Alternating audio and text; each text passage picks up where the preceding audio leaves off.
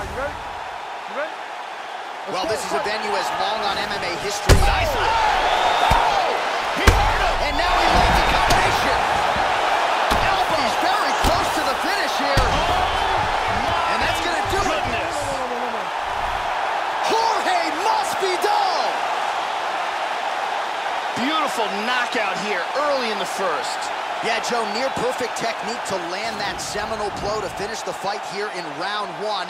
And that's exactly the way a fighter draws it up. You don't absorb anything in terms of significant damage, and then you're able to knock your opponent out. So this is exactly the desired result for him here tonight. Take a look at this from a different angle. Crank right on the jaw. So there he is as the celebration continues. A huge knockout for him here tonight. That could hold up as one of the better knockouts of the year. All right, with that, Ladies we now go inside the octagon. Murphy Bruce has Buffer has this the official decision. At 16 seconds of the... Art. All right, you ready? You ready? While Let's the go, UFC live events keep on coming, we are underway from the world-famous Saitama Super Arena Oh, he in nailed Tokyo, him. Japan.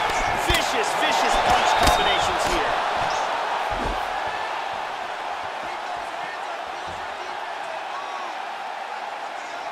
Oh, man, look how quickly he gets that foot to the target.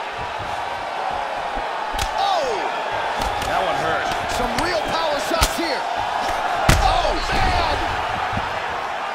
He's hanging on here, but he is in big, big trouble. Left hand lands flush over the top.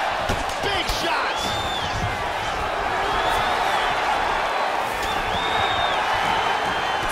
The left hook hits home. Foot stomp by Gamebred.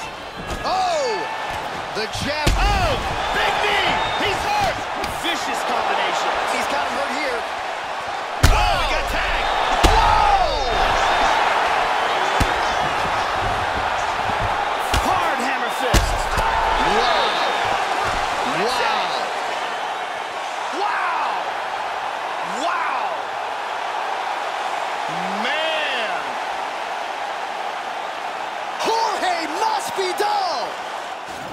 And here's the end of the fight.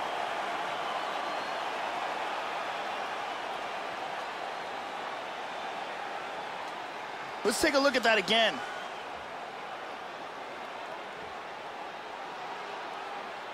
Check it out here. Oh, man. KO. Well, what a moment for him here tonight. A huge knockout on one of the sport's biggest stages. That is one they'll be talking about for some time. Bruce Buffer has your official decision. Ladies and gentlemen, referee Dan Miragliotta has called a stop to this contest at 1 minute, 49 seconds of the very first round. Declaring the winner by knockout, Jorge Gamebred Masvidal. So Jorge Masvidal still getting it done, Joe. Nearly 50 fights into a pro career that dates all the way back to 2003. And that man knows how to celebrate, too. You see him there embracing his American top team coaches. Gamebred's always been a force, now, though, fighting with more reckless abandon than ever and really letting his skills take over. That, folks, is one dangerous man.